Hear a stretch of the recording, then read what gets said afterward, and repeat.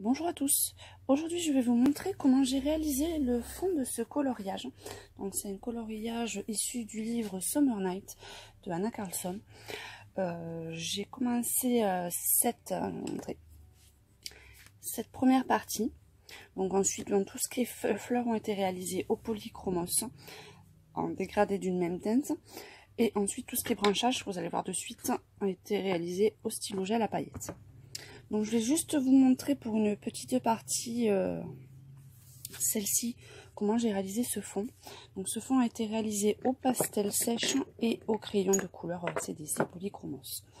Euh, les petites abeilles, elles, ont été faites entièrement au stylo gel. Donc, hop, on va essayer de bien mettre la caméra. Donc pour ceci, j'ai utilisé, bon j'avais pas de, de compas, donc j'utilise un tout petit verre. Donc j'essaye de mettre la petite guêpe au milieu. Et avec un crayon jaune, n'importe quelle couleur, hein, c'est pas le plus important, je fais le contour.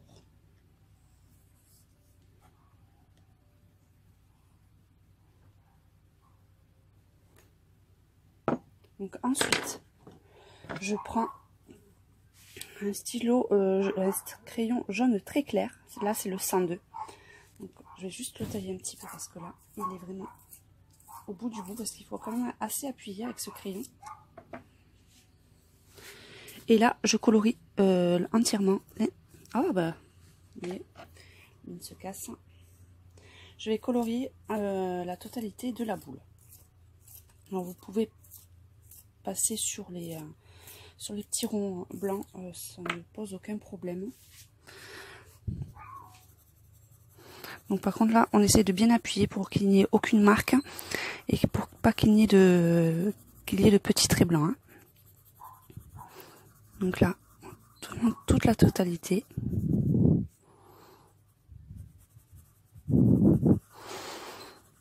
pour éviter qu'il y ait des traits blancs, souvent je fais des petits des petits cercles. Hein. Ça couvre plus de surface.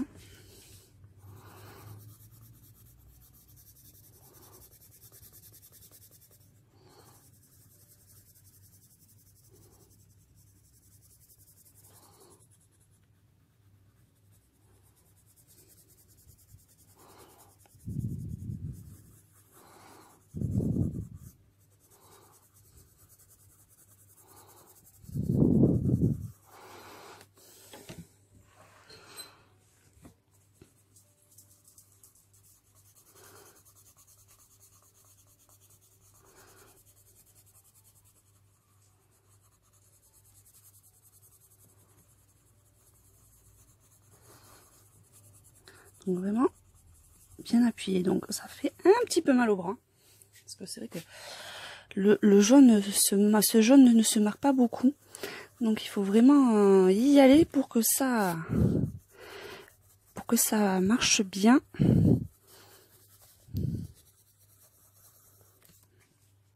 Alors ensuite, autour euh, de notre petite euh, je vais faire le contour en un jaune un peu plus foncé. Là, j'ai pris le 107, mon jaune habituel. Et là, je marque juste le contour, en fait, de l'abeille. Tout simplement. Voilà. Et enfin, je repasse un petit peu aussi que j'ai des traits blancs sur le reste de la boule.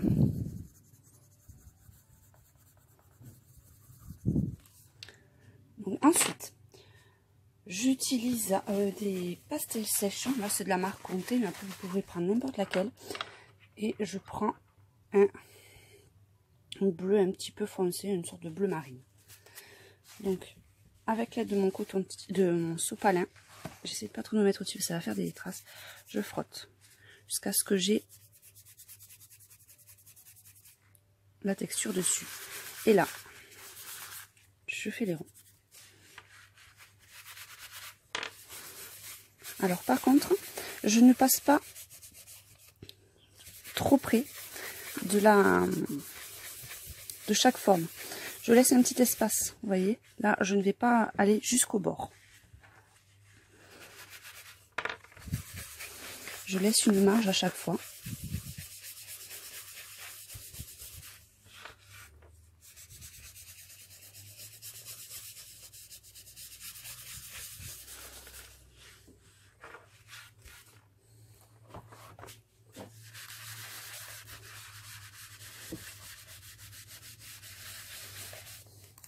Là, je remonte pas trop parce que là, vous allez voir, je vais déjà délimiter. Euh, le bon crayon. Je vais déjà délimiter la prochaine bulle pour voir exactement où il faut que j'arrête le crayon. Vous voyez, quand je suis remontée un peu trop près, et là, je vais juste faire une petite démarcation à la gomme.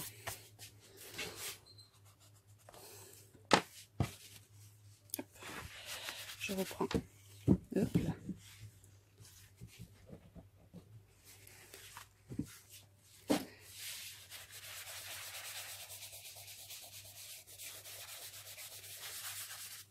les contours. Après, si vous avez des zones un peu plus foncées, euh, ça fait un peu, ça fait un peu euh, effet texturé, donc c'est vraiment pas un souci. je remonte un petit peu.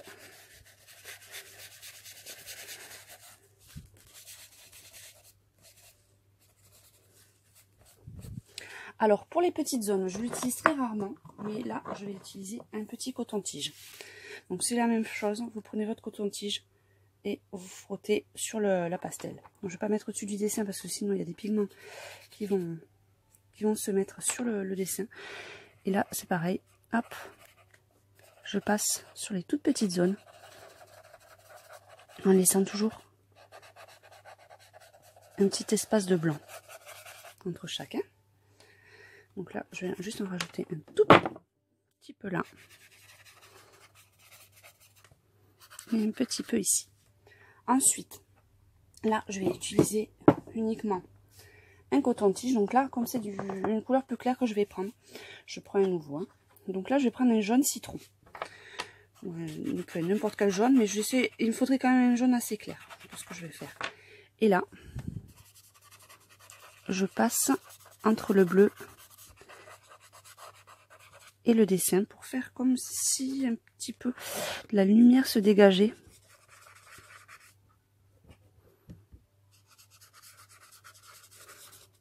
Euh, du dessin.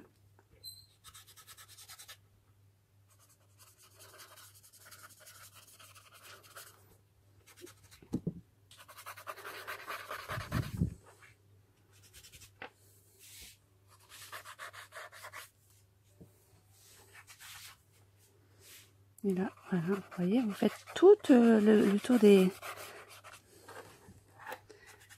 des fonds, vous avez un peu de blanc.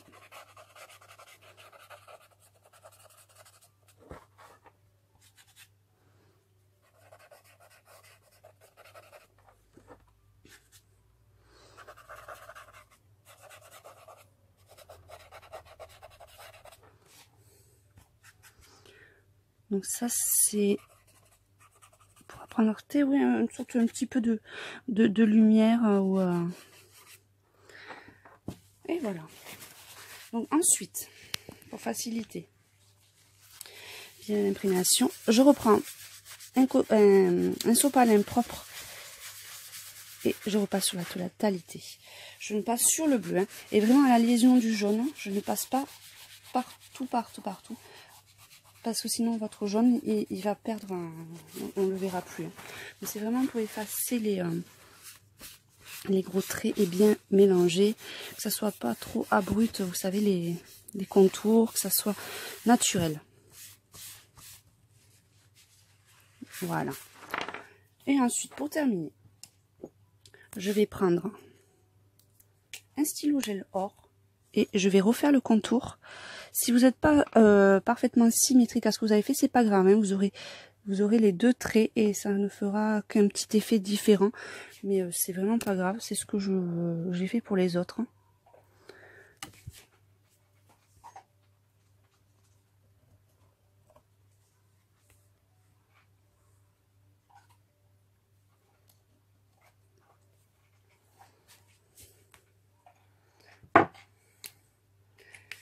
Enfin,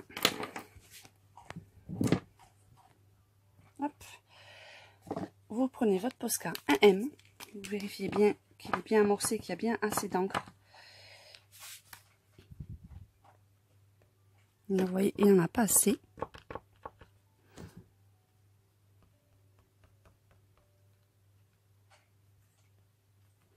Donc il n'y en a pas assez, moi je le fais vraiment couler beaucoup, beaucoup, beaucoup. Je m'insère comme ça, voyez, hop. Là, ça ira mieux.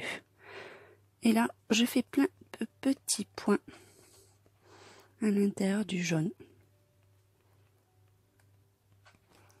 Et enfin, sur les petites bulles qui vous restent, vous n'avez plus qu'à apporter des petites touches, le doré.